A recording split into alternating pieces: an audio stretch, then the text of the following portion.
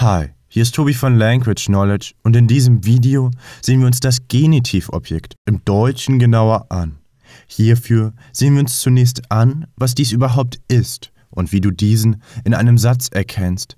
Anschließend verdeutlichen wir dies nun noch einmal an ein paar Beispielen. Und zu guter Letzt fasse ich dir noch einmal das zusammen, was du unbedingt aus diesem Video mitgenommen haben solltest. Doch was ist denn nun ein Genitivobjekt überhaupt? Das Genitivobjekt beantwortet in einem Satz die Frage wessen. Dabei ergänzt dieses Objekt das Prädikat bzw. Verb um eine wichtige Information, wobei es nur wenige Verben gibt, die einen Genitiv verlangen bzw. erlauben, wodurch dieser Fall äußerst selten verwendet wird. Hierbei gilt es zwei Punkte noch zu beachten. Erstens besteht das Genitivobjekt meist aus mindestens zwei Wörtern und zweitens ist dieses Objekt entweder ein Nomen oder Pronomen.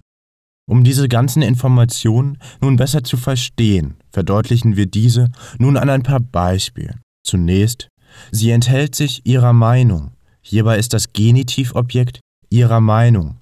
Diese gibt darüber Auskunft, wessen sie sich enthält und beantwortet somit die Frage wessen. Nun ein weiteres Beispiel. Er überführt sie des Diebstahls. Hierbei ist das Genitivobjekt des Diebstahls. Dieser gibt darüber Auskunft, wessen er sie überführt und beantwortet somit auch die Frage wessen. Doch was solltest du nun unbedingt aus diesem Video mitgenommen haben? Und zwar, dass das Genitivobjekt die Frage wessen in einem Satz beantwortet. Dieses Objekt ist entweder ein Nomen oder Pronomen und kann von einem Artikel und oder ein oder mehreren Attributen ergänzt werden. Vielen Dank, dass du dir das Video bis hierhin angesehen hast. Doch eine Bitte hätte ich noch. Und zwar, da es unsere Vision ist, dir mit unseren Videos so schnell es nur geht weiterzuhelfen, benötigen wir dein Feedback, was wir an unseren Videos noch besser machen können, in Form von einem Kommentar. Vielen Dank auch dafür.